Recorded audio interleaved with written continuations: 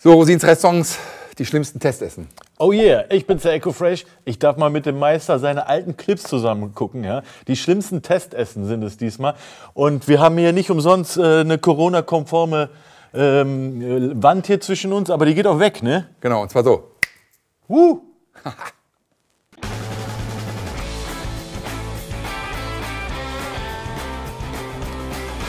Diese Testessen, da äh, ruft ihr auf zum Testessen, dass das äh, Volk sozusagen vorbeikommt, damit du einschätzen kannst, wo die so sind oder wie. Ja, genau, genau. Okay, okay. Ich glaube, es war planlos, ähm, nicht, nicht kundenorientiert. Es war einfach nur chaotisch. Also ich fühle mich jetzt hier als Gast nicht sehr wohl. Ich würde es weder empfehlen, noch würde ich noch mal kommen. Mein Team und ich, wir sind. Wir machen das. Ja. Stylo. Schick, schick, schick. Ja, Ja. wollte ich gerade sagen. Fresh, Frank Fresh. Schlachten geschlagen haben. Und es gibt einige nette Fälle, schwierige Fälle. Und wie bei euch, ganz schwierige Fälle. Die sehen ja eigentlich total nett aus, ja, Voll und auch nett. ein bisschen verzweifelt. Das möchte ich voraussagen. Das Testessen war ein Totalausfall. Eine totale Katastrophe. Das war gestern scheiße. Und da gibt es keine Entschuldigung. Wir haben ja gestern schon gesprochen, Tasso, ne? Und allein aus dieser Ebene heraus und mit Respekt und mit Anstand müsste ich jetzt sagen, Schlüssel abschließen, sucht euch einen Job und geht arbeiten. Das trifft die sehr. Also Ja, ich bin auch jetzt gerade noch selber geschockt, wie ich das sehe.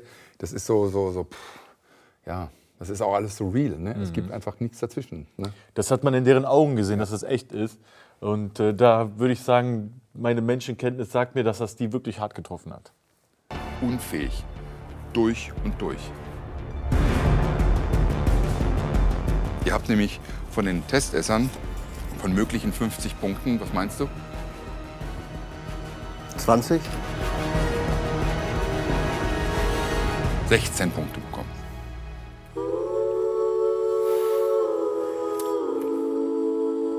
Schlimmer geht's nicht. Also die Punktzahl, die wir erreicht haben, das ist unter, unter aller Sau. Muss ich echt zugeben. Ich zeige euch mal zwei Karten. Weil das, sowas hatte ich noch nie. Ach du Scheiße. Minus mit. So dass wir sogar ein, eine Null kriegen mit Minus davor. Es tut schon weh.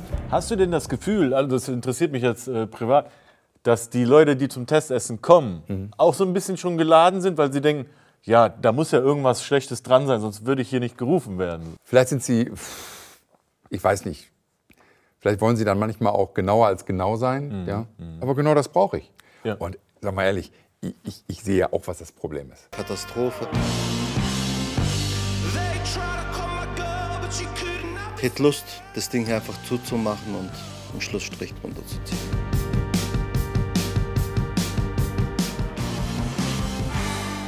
Und du sagst, das ist alles unter Kontrolle. Ist es, äh, sind es äh, Ehemann und Ehefrau? Oder wie? Ja, ja, genau. Ehemann und Ehefrau, sie betreibt den Laden. Er ist gar nicht mehr selber mit drin. Ja, da ist dann auch Herzschmerz dabei, ne? wenn du weißt, okay, das ist ein Pärchen, das ist die Existenz einfach von so einer jungen äh, Gemeinschaft, ja. Nach den Punkten ist gar nichts unter Kontrolle.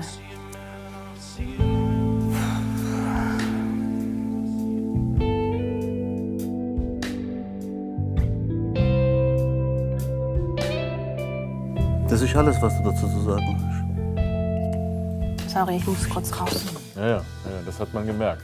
Das ist schon Gänsehaut, ne? das ist schon hart.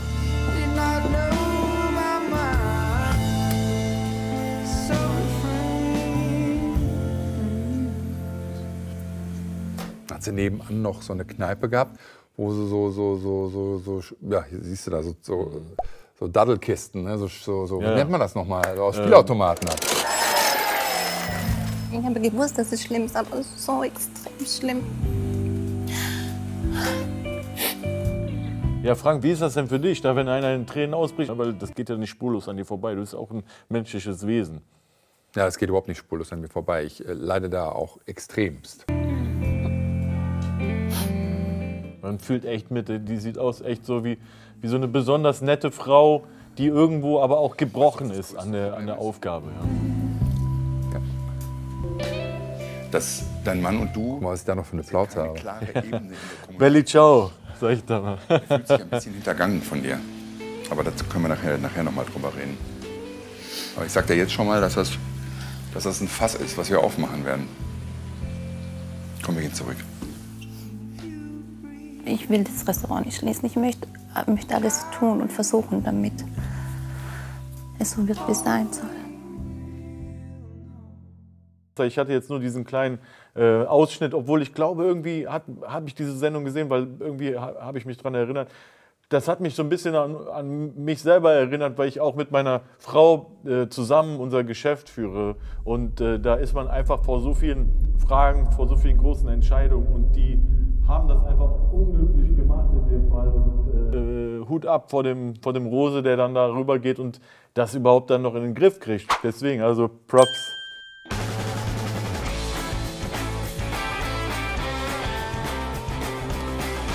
Was gibt's heute Abend für die Testesser, für die 50 Personen? à la carte. Die dürfen sich das aussuchen, was sie essen möchten.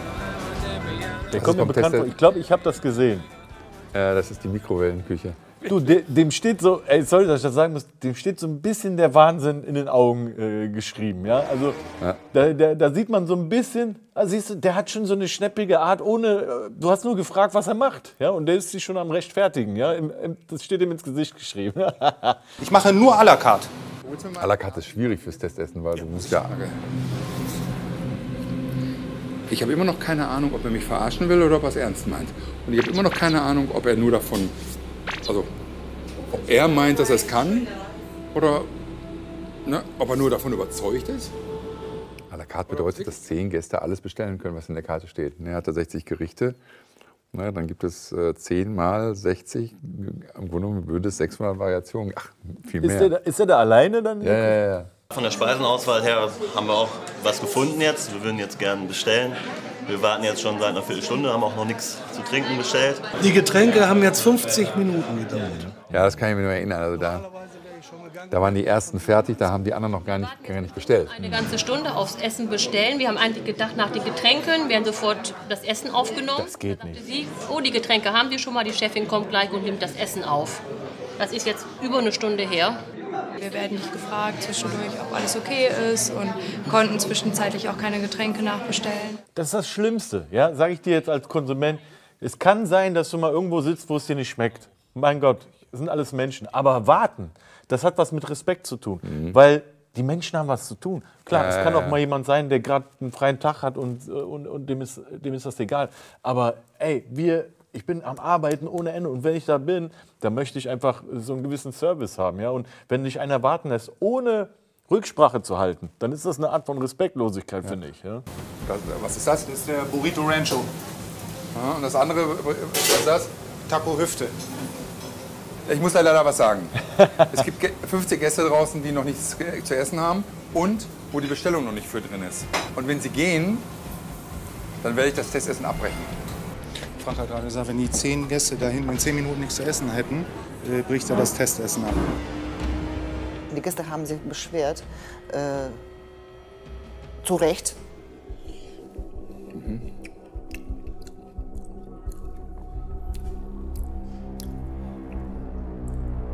Schmeckt wie eine Durchschnitts überall schon mal gegessen Chili con Carne. So, dann haben wir hier diese Tacos mit diesem Kochfleisch aus der Hüfte.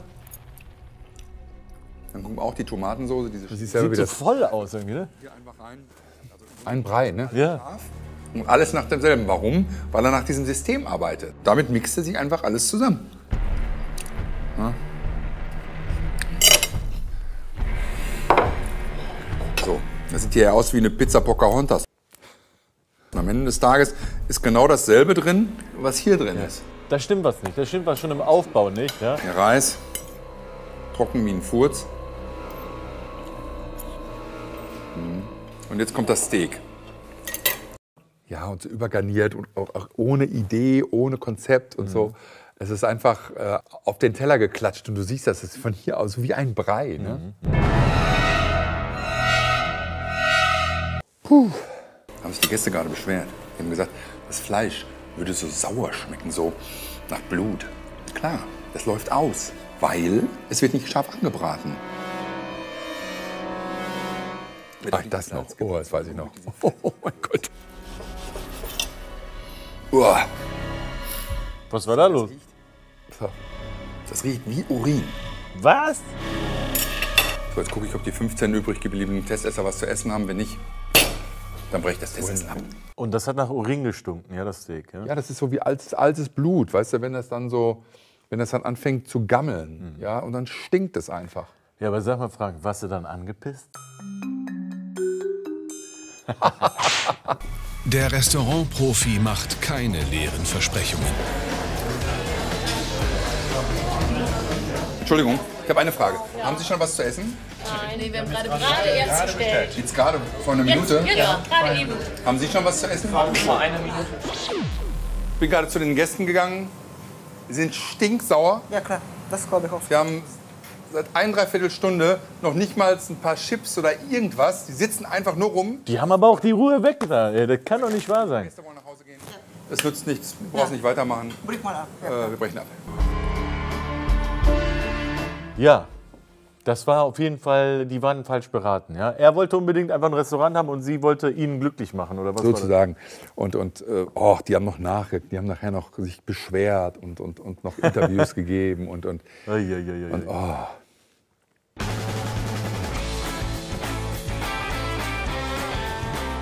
So, jetzt kommt der, das nächste Testessen. Muss ich jetzt erstmal. Ja. Ich, ich kann es in einem Wort nur umfassen. Das ist ein Skandal. Einfach nur ein Skandal. Und Ja, ich finde die Hygiene, also wenn so eine Bude, wenn das mit den, also das ist ja wieder dieser Fall, das Essen gemacht, hier wird nichts gemacht. wo die Lebensmittel da so gelagert wurden und er war LKW-Verkäufer und so. Ne? Also die haben ja wirklich richtige Probleme gehabt. Nicht nur, weil er es nicht konnte, sondern weil er einfach vom Schreibtisch, er war früher LKW-Verkäufer und hat gesagt, so jetzt werde ich Gastronom. Und der hat richtige Probleme gehabt. Und wenn ihr diese Probleme auch habt, egal woher sie resultieren, meldet euch bei kabel1.de slash Rosins Restaurants oder kabel1.de slash bewerben und ähm, dann kommen wir. Und wir kommen und wir helfen. Seid ihr damit einverstanden, dass wir erstmal das Testessen absagen? Ja? Ja, ihr müsstet die Lebensmittel au- aus diesen Räumlichkeiten rausholen, um dann zu kochen. Und ich kann das einfach nicht gutheißen. Das sieht schon so traurig aus. Also sorry, dass ich das sagen muss. Das hat ja auch was, so wie in der Kunst, ja, hat auch was bisschen mit Personality zu tun und ob du da Bock drauf hast, ja. Und der Raum schreit schon danach oder beziehungsweise der, der Raum schweigt, ja. Da ist nichts mit Bock, da ist irgendwie, der ist da irgendwie reingeraten Ja. Äh, und äh, der, dem würde ich jetzt niemals ein Essen abkaufen, schon wenn ich den so sehe. Ich meine das nicht oberflächlich, sondern der strahlt das auch gar nicht aus, Ja. Gastronom zu sein. das trifft mich eigentlich wirklich hart, weil wir hier ganz weit davon weg sind, irgendwie schlodderig mit Lebensmitteln umzugehen. Er sagt zum Beispiel, er ist weit davon entfernt, schleuderig mit Lebensmitteln umzugehen. Weil er es nicht besser weiß. Ja, nachdem Frank mich gestern ja ordentlich zusammengestampft hat, ähm, habe ich mir überlegt, okay, das passiert einmal, aber kein zweites Mal. Und dann haben wir gestern einen kleinen Notruf gestartet, es sind ein paar Gäste gekommen und dann haben wir hier gestern Tabula Rasa gemacht. Dann kann ich schon mal Ja sagen, dass wir ein Testessen machen werden. Okay. Das heißt, wenn deine Mitarbeiter gleich Das kommen, sieht ja aus wie so eine zivile Küche vom, vom Poco, hör mal. Da kannst du doch nicht richtig für äh, kochen für mehrere Leute, oder? Ja. Technische Voraussetzungen etc. etc. Ne? Dann auch viel Holz verarbeitet ist heute eigentlich nicht mehr erlaubt in der Küche, mit Hol dass du auf Holz arbeitest oder, mit, Mhm. oder Tische mit Holz sind oder so. Da brauchst du schon eine Industrieküche, oder? Genau, weil Fett und, und, und, und Sporen und, und so, das setzt sich alles, Feuchtigkeit setzt sich im Holz fest und ähm, dann können sich dort äh, Bakterien entwickeln. Dann hau rein. Ja. Dass Frank uns die ganze Zeit über die Schulter guckt, war fürchterlich. Kann ich nachvollziehen. Fände ich auch fürchterlich. Da steht der Rose mit seinem strengen Blick. Tomatensoße ist, hatten wir eigentlich schon in der Vorspeise gehabt. Deswegen hat sie wahrscheinlich nicht gereicht.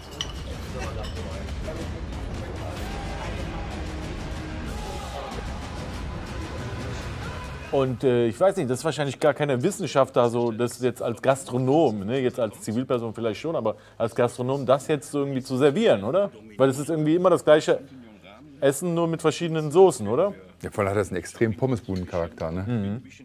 Und es gibt bessere Pommesbuden, die bessere Sachen servieren als das. Jawohl, danke schön. Hat's denn geschmeckt? Ja. Kriegst Nee. du das eigentlich, Entschuldigung. Nee, es ist.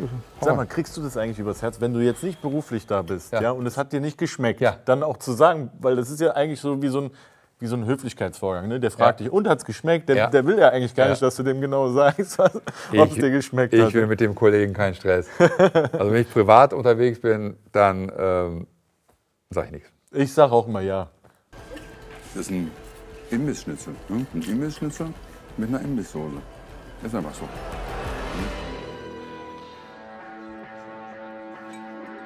Der Rosin, ja, der trifft da wieder die richtigen Worte. Ein Imbissschnitzel ist das, nicht mehr, nicht weniger. Da braucht er auch kein Restaurant aufmachen, oder? Nö. Aber das ist auch, aber ein Imbissschnitzel ist ja auch gut. Meine Mutter hat 40 Jahre einen Imbiss gehabt, da haben die Schnitzel immer geschmeckt.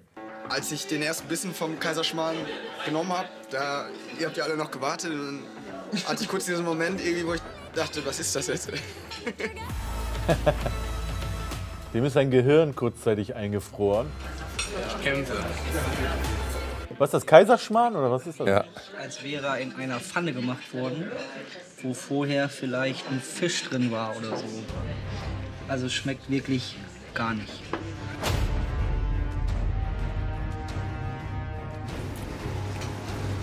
Kennst du das? Wenn du morgens oder irgendwo ein Obstsalat isst und mit dem Messer, womit das Obst geschnitten wurde, hat der Koch vorher eine Zwiebel geschnitten und dann hast du so ein Zwiebel. Oh, das finde ich ganz grausam. Der Kaiserschmarrn schmeckt nach Mehl, ohne Liebe, kein Aroma, sehr viel Mehlgeschmack. Das heißt, der Teig hat keine Zeit gehabt, sich zu setzen. Hör mal, da sahst du gut aus. Kamst du da gerade aus Malle zurück oder so? Ja, ne? Aha. Das, das ist Schmarrn. Ja, was soll man daraus machen? Na, kein Restaurant Ja, auf jeden Fall. Ne? Scheißhaufen gelagert werden und alles in allem, alles nur eine schöne Fassade. Ich meine, das Ambiente von außen stimmt es ja. Ne? Es ist wie so ein Gutshof irgendwie, ja. Aber man kann was draus machen. Aber der Junge ist irgendwie äh, Lagerist oder weiß ich nicht und ist dann rüber und denkt, er kann direkt ein Gastronom Ja. werden. Wenn ich in eine Dönerbude gehe, erwarte ich ja auch keinen Kaiserschmarrn. Aber ich sage euch eins, das ist kein Einzelfall. Das ist die Benchmark der gesamten Gastronomie in Deutschland. Ungelernt, unwissend und kein Gefühl für den Job. Sag mal, kann ich auch ein Restaurant aufmachen oder muss ich hier irgendwie so eine Schulung durchgehen? Man muss bei der IHK so einen Frikadellenschein machen, so nennt man das. Muss irgendwie eine Stunde bei so einer, bei so einer Schulung teilnehmen und dann reicht das. Das reicht? Ja. Okay. Ja. Krass, diese verschiedenen Testessen, oder? Ja, das war mega. Und weißt du was? Ich war auch einmal bei dir testen. Ja, ich und weiß. War. Einmal war ich sogar nicht da, ne? Nee, einmal warst du nicht da. Ich war nämlich zweimal da. Ja, genau. genau. Es gibt noch viel mehr Testessen äh, von Rosins Restaurants und äh, das könnt ihr alles natürlich bei Kabel 1 Disney. Disney. Schaltet Disney. ein. Disney, Disney, Disney, Disney. Klick, klick, Kabel klick, 1.de. Man sagt das doch.